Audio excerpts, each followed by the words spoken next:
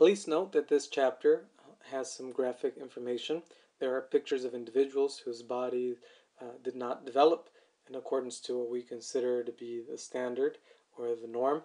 Uh, but those slides will come up later and we'll be discussing why their bodies developed that way. Additionally, this course is a little heavy on terminology, so I would strongly recommend that you repeat this video uh, at least a couple of times so you could get a thorough understanding of the concepts discussed and the terminology. As we seek to understand who we are, we have to look at our genetic foundations, and that is to look at where we come from. If you've taken biology, or if you have some knowledge of this in here, you may remember that we are a byproduct of 46 chromosomes. That is, 23 coming from mom and 23 coming from dad. Now, it's not always the case. There are some individuals who have chromosomal difficulties, and that is, they have one too many or more, or they have uh, fewer than the 46. Individuals who have 46 are considered to be the standard, but it's not always a given. Now, as individuals have intercourse, um, typically about 36 hours after intercourse, depending on the woman's menstrual cycle, uh, there will be a conception. And conception is depicted here in this picture uh, at the bottom, where you have the sperm uh, going into the egg. That's when conception takes place. Now, when this occurs uh, instantly, we end up with these 23 pairs of chromosomes that are seen here. And these right here, especially this one at the bottom, the very last one, uh, is the 23rd pair. This 23rd pair indicates that there is uh, going to be an X and a Y. The way we know that this is an X and a Y, therefore a male, is because of the size difference. Had it been a female, then uh, they would be similar in length, uh, and that would be an XX component. Since it is a slightly different chromosome, the 23rd pair, then we know that we are dealing with a male. And this is what we see in terms of our genetics. Of course, uh, within our genes, we also carry genetic information, and that is to say that within our DNA, the double helix, which is shown here to the right of the chromosomes, we carry a 3 billion base pair code that dictates what our noses look like, what our eyes are, what color they are, whether we have curly hair or straight hair, and also um, our personality type. A lot of different things in here are dictated by our genetic predisposition.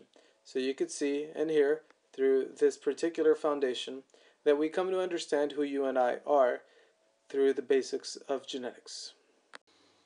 The majority of the time, women give birth to one child at a time. In some cases, however, they have multiple births, and the most common of the multiple births would be twins. Uh, now, there are two types of twins. You have dizygotic, also known as fraternal twins, and monozygotic, also known as identical twins. With a dizygotic twin, you basically talk about di as in two, and then zygote, meaning there are two zygotes that resulted from the release and fertilization of two eggs. Ova is plural for ovum, which is the woman's eggs. And what we find with these uh, type of twins is that although they uh, were born almost at the same time, they are not more genetically alike than ordinary siblings, meaning someone who may be two years older than you. Um, this is the most common type of birth uh, control, multiple birth type, and uh, it is um, a lot more common in, in uh, industrialized nations because of fertility treatments, uh, art reproductive treatments, which is known as ART, art reproductive, assisted reproductive techniques or treatments uh, for women who have delayed um, pregnancies and then because of their careers and then maybe in their 30s they want to become mothers. However their fertility years um, may not be uh, ahead of them. In fact they may be behind them. And as a result of that then they have to implant different types of uh, fertilized eggs and this could give way to multiple births we also have monozygotic twins, which basically means mono coming from one, uh, and that is that uh, there is a zygote that was fertilized by a sperm, but this separates into two clusters of cells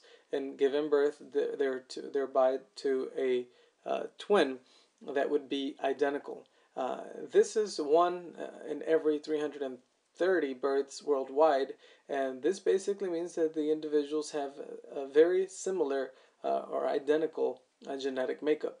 As a result of that, there have been a lot of studies that have focused on whether uh, these individuals uh, are byproduct uh, of their genes in terms of their personality or if it's a byproduct of nurture. You will hear a lot of twin studies throughout the course.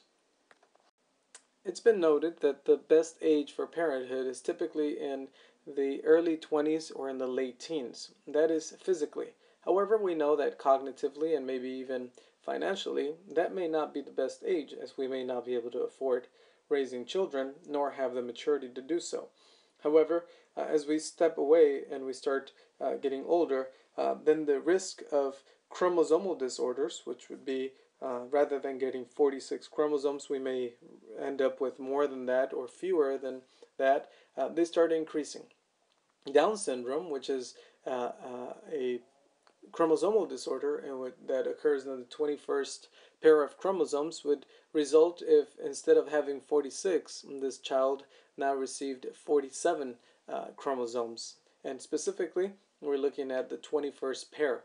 This increases significantly when women are past the age of 35 now it's not to say that a woman older than 35 will give birth to a child with down syndrome but the chances of that uh, do um, increase the older we get. As far as the male reproductive capacity, we find that the amount of sperm and concentration will also decline after the age of 35.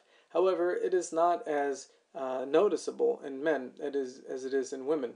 Uh, on average, maybe men who are older would take a little longer to conceive a child, but again, we see uh, individuals who, even into their 70s, can still impregnate women, whereas women who may have already gone past menopause would not be able to conceive children despite still being sexually active. Uh, we also find that uh, when uh, children are born to teens, they may experience different health problems and problems in general, but it's not linked to the age of the mother. It's typically linked to the uh, emotional immaturity that may exist, uh, economic factors in which the mother may not have any stable job or income, and also the social uh, environment in which the child is born to. As mentioned earlier, uh, conception, which takes place when the sperm meets the egg, is uh, the moment at which we begin to study an individual's development. And we will look at the uh, development prenatally and then see how we move ahead once we are born. Now, the very first stage that we'll look at prenatally is called the germinal period, and this occurs during the first two weeks of pregnancy. Please note that at this point, many women, the majority of them in fact, are not aware that they are pregnant. This is basically at the time where we call a zygote. Um, that is a new cell that is formed by the union of an egg and a sperm. And once conceived, uh, after 30 hours, um, the cells divide very, very rapidly. In fact, we know that typically by the fourth day, um, the uh, organism is composed of 60 to 70 cells. And just like that, they will begin to multiply and multiply to begin to take form of the organism that eventually will become uh, a uh, embryo and eventually a fetus and, and then a, a newborn. Uh, please also note that this is a delicate period as 30% of the zygotes do not survive. And this is important for you to know. Uh, oftentimes, when uh, a woman may have conceived a child, uh, she may not know that she's pregnant, and uh, maybe there's a delay in her period, but she would still have a period thereafter, leading her to believe that she was never pregnant. But it is possible that she may have conceived, but due to multiple factors, uh, the uh, pregnancy may have been terminated, and that again would become part of the 30% we speak of here. We also find that upon completion of the first two weeks, the germinal period, the organism is considered to be a complex organism. The cells are beginning to take shape into, again, what will become a human. In the embryonic period, which is composed or lasts between weeks 2 and 8, um, the embryo continues to develop in a form that would uh, eventually um, make up what we call a human. You start seeing that toward the end of it, uh, of the embryonic period, um, this embryo now has a heart, brain, and other organs, and even discernible arms, legs, and face by week eight. Well, something that's very impressive is that uh, our brain development is uh, begins at the uh, third week, and when we talk about the development of it, we're talking about the proliferation or the expansion of cells, the multiplication of cells. And the cells that make up a part of our brain and our nervous system are called neurons. Um, these neurons here are developing at 250,000 neurons per minute at week three. Now, when you consider whether women are aware of their state, meaning pregnant or not, we find that still the majority of women may not realize this because this is still within the second month of pregnancy. The fetal period is the last uh, prenatal development stage. And this is basically what uh, we are known as until we are born. A fetus begins to develop from week 8 until birth. And one of the things we know about the fetus is that um, it is by week 12 that we are able to tell through an ultrasound what uh, the um, external genitalia is, meaning the sex of the individual, whether it's a male or a female. Now, it's important to go back to the first slide and remember that the sex is determined upon conception. However, we cannot see it uh, from the outside until week 12 through an ultrasound. Now, what's important about the fetus is that some people believe that the fetus is capable of thinking, and this idea uh, has grown from the fetus response and reaction to when exposed to light and sound. Uh, and by week 20 of pregnancy, we often find that if um, there were to be a, spectros- a, spectroscopy, which is a device that is inserted through the vaginal canal, um, that actually sheds some light into uh, the womb. And what we've seen through an ultrasound is that a child often uh, when uh, struck by light in the face, they would either cover their face with their arms or turn away. And this leads us to believe that they are uncomfortable by it and that they may actually be reacting cognitively. However, we don't know if it's a, a voluntary reaction to turn away or a reflex because light could be bothering them. Uh, in any case, we find that uh, the majority of the brain's billions of neurons are in place by the fetal period, and that's what again leads to the uh, the big question as to whether fetuses are capable of thinking or not. Another important aspect that you need to be familiar with is the age of viability. The age of viability is basically the point at which the organism can survive if they were to be born prematurely. And what we find is that this typically occurs between the 22nd and 26th week. Anybody born before that is uh, not known to have survived. Uh, anybody born within this period thereafter, the chances of survival start increasing the closer we get to the full term. During pregnancy, there are also sensitive periods, and these are uh, critical periods at which the organism is very vulnerable to different kinds of stimuli. Um, they are individuals who were uh, impacted by the presence of alcohol or nicotine or various other environmental agents, and maybe if they were not in the critical period or sensitive period, their bodies do not seem to have been affected by it. However, there are some who uh, may have been exposed to the same agent, the same environmental component, uh, but if impacted during the sensitive period, we could possibly see that in their thought process or maybe even physically, as we see with fetal alcohol syndrome kids who are those who are exposed to uh, alcohol while they're, uh, they were developing as an embryo and as a fetus. Also, you need to be familiar with preterm infants. Those are basically uh, individuals who are born before week uh, 38. Please note that premature and preterm are not the same. there could have been a preterm infant that would not have been premature. Premature would basically mean that they did not come to full maturation. Um, when someone is preterm, they could have been fully mature, but they were just born before week 38. Here are some common uh, genetic and chromosomal difficulties that uh, are seen. These are just a few of them, and I will just only focus on some of them. As mentioned earlier, uh, Down syndrome is uh, one of the causes of mental retardation, and it is a chromosomal difficulty. Once again, this occurs when there's an extra chromosome at conception. So rather than 46, they end up with 47, and specifically at the 21st pair of chromosomes.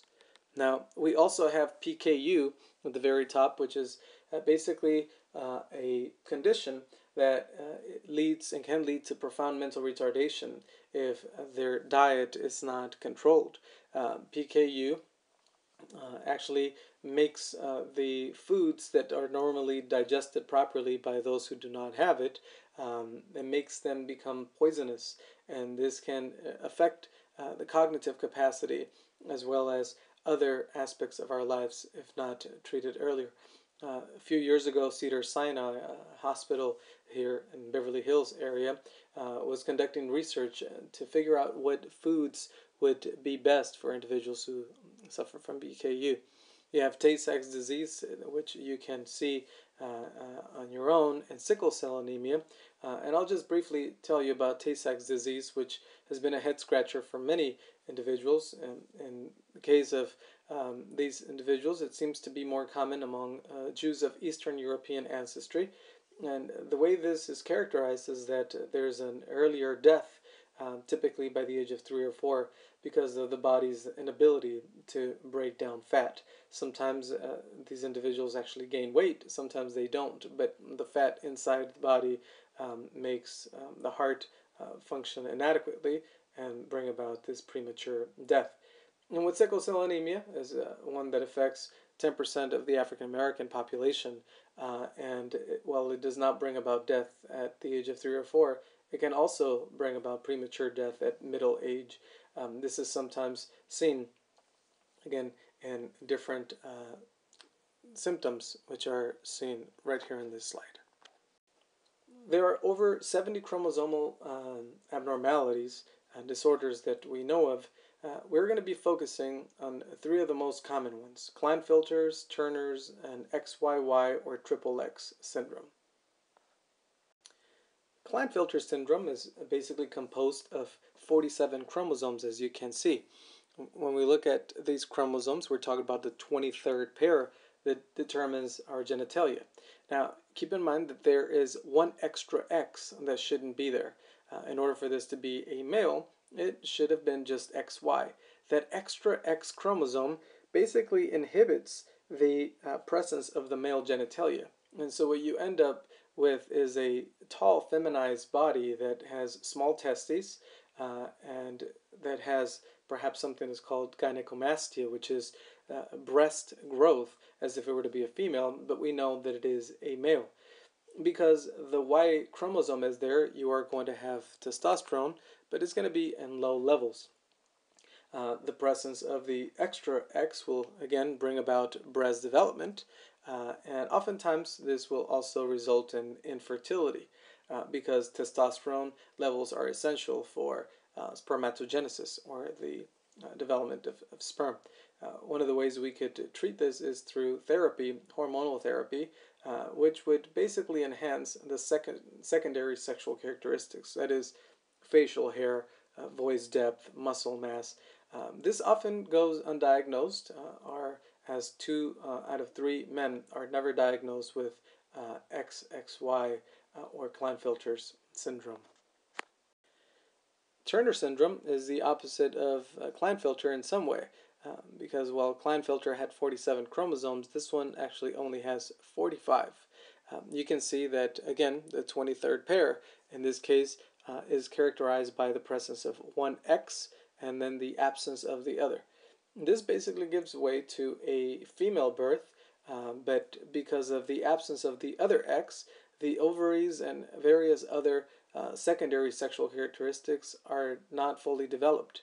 Um, with the ovaries underdeveloped, you end up with a condition called amenorrhea, which is basically the absence of menstruation.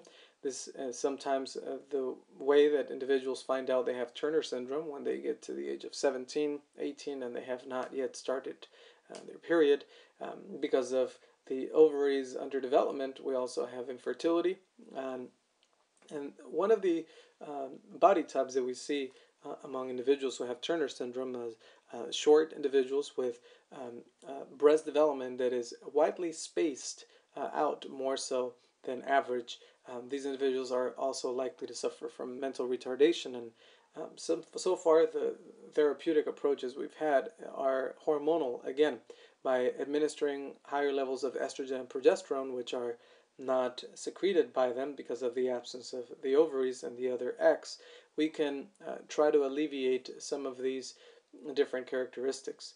Uh, some of the health problems that these individuals experience in adulthood are hypertension, bone thinning, and thyroid problems.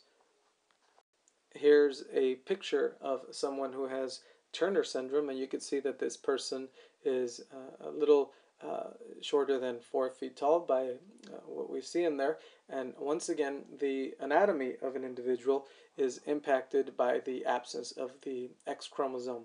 Now, to the naked eye and untrained eye, it may just be an ordinary body, but you would see that again inside the genitalia, the reproductive system would not necessarily uh, be there to reproduce and to bring about the monthly uh, sexual differentiation. We also have hormonal disorders, and we are going to look at two. Now, keep in mind that chromosomal disorders are things that uh, just we couldn't have prevented upon conception.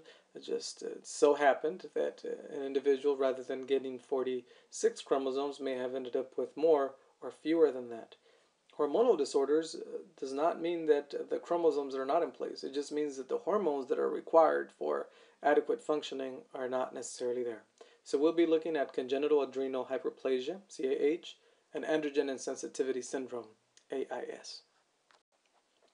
Congenital adrenal hyperplasia is basically made up, as you can see, of a female, uh, two uh, X chromosomes in there, uh, but this female is exposed to an excess amount of androgen, which is a uh, hormone typically found in higher levels among men. Um, this exposure prenatally gives way to uh, uh, the development of internal organs in a female, but sometimes it could bring about uh, masculinized uh, external genitalia. Uh, and what you end up with is having an individual who may uh, not be able to necessarily express their sexuality as someone who has defined genitalia of a female or male. however, because they do have internal uh, reproductive system that is functional, pregnancy is often possible among many individuals who have this. Not surprisingly, this also uh, gives way to higher rates of occurrence of bisexuality and homosexuality. And this has given way to a lot of interesting research as to whether individuals who may uh, have uh, non heterosexual orientation would uh, have perhaps a hormonal uh, imbalance that could bring about these changes. Here you can see uh, the genitalia of an individual with uh, CAH, and this is basically uh, a the uh, vaginal uh, canal with a very enlarged clitoris that would have been a little bit more similar to the penile glans, which would be the equivalent of the head of the penis. Now, the introitus, which is again the entry to the um, vaginal canal is there and internally in these individuals because they do have both uh, sex chromosomes which are XX they would have and could have functional ovaries. Therefore uh, if there were to be sperm that is uh, deposited in there and there is ovulation a pregnancy is possible. AIS is the other uh, hormonal difficulty we'll be discussing. And again, you can see that this is not a chromosomal difficulty, as in this case we're dealing with a male. Uh, however, although there are 46 chromosomes and it seems as the XY makeup is uh, adequate, the body of the individual doesn't seem to respond to the testosterone that's being produced by the testicles. Um, as a result of that, you would have no internal reproductive structure except for the two undescended testes. And oftentimes, because uh, there is no um, absorption and functionality in the testosterone that's being produced, rather than having external genitalia, they may end up with what is known as a shallow vagina. Uh, and sometimes they have gynecomastia, which is again um, the development of breast. And since sometimes they may be perceived as females, the expectation is that they would menstruate, but because they do not have an internal reproductive system, they do not have a menstrual cycle uh, and are infertile. Uh, oftentimes, the way this has been treated when individuals grow older is that they may perform a surgery to lengthen the vagina if the individual were to choose to live as a female. However, it is important to know that genetically, a person with an XY would be a male, uh, but would have some feminized characteristics. Here's a picture of someone with AIS genitalia, and once again, this is uh, an XY. It's a male, but it is uh, basically uh, unresponsive to the testosterone that would come from the uh, Y um, chromosome. And as a result of the uh, irresponsive uh, functionality of the body, they end up with a feminized body on the outside.